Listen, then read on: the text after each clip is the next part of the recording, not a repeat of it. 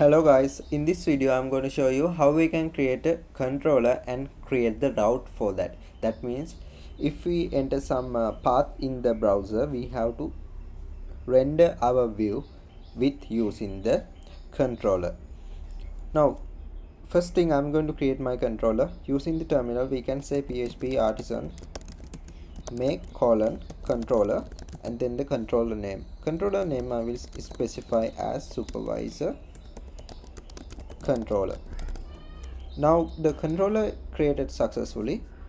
Now where we can find our controller? In the app folder you will see this http folder. Inside the controllers folder you will see this newest controller. So that is the supervisor controller dot php and then uh, next thing i'm going to create a view. So in the resources folder I will create the file in views folder.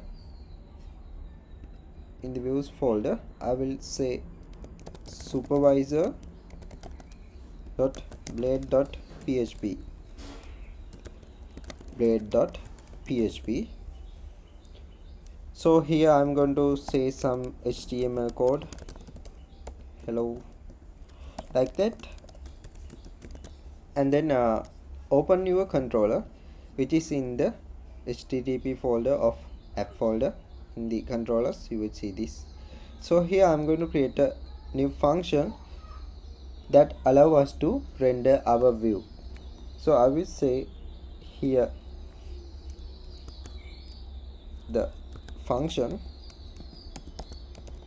and, and then the function name load view and then braces. Inside braces we have to return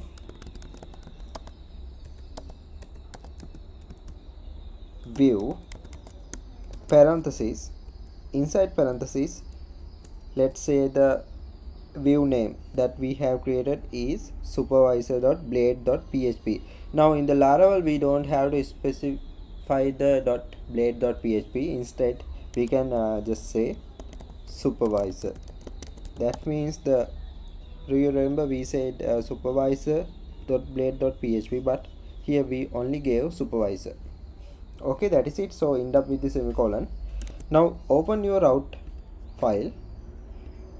Here uh, in the routes folder you will see this web.php so here i'm going to just say route.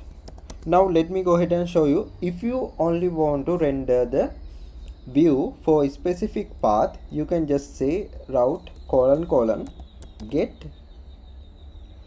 and then parentheses the url i will say forward slash supervisor and then a function parentheses semi uh, parentheses and uh, braces. Here i will say return view supervisor.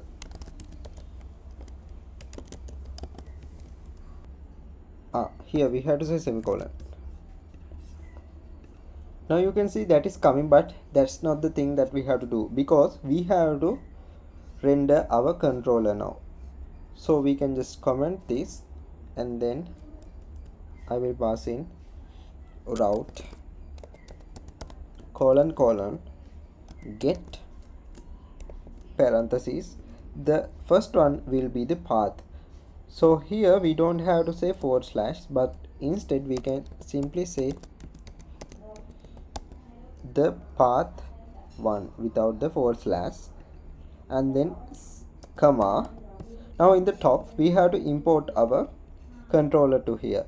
So we have to say use app backslash http backslash controller backslash and then supervisor controller semicolon. Now here I'm going to say square brackets